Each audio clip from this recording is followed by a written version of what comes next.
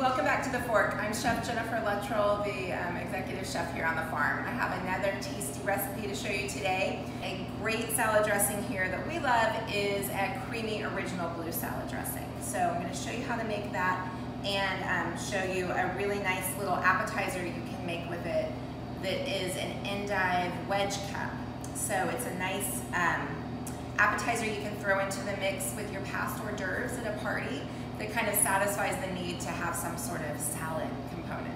Here we go with the dressing. Um, we are going to just put into a blender, really easy here.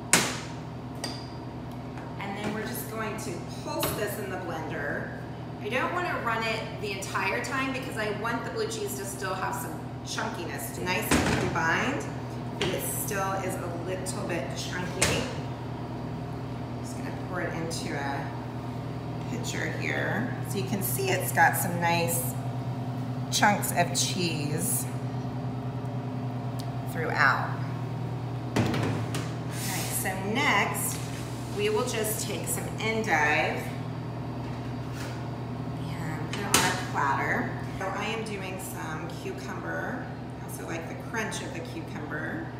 Just a little bit in each little endive cup. Then I have these really gorgeous little sun golds one of my favorite things to come out of the garden every summer, right? And then I'm just gonna drizzle a little bit of the dressing. These are super simple, but everybody here really loves them. They're nice and refreshing addition um, to any event where you're entertaining. Enjoy.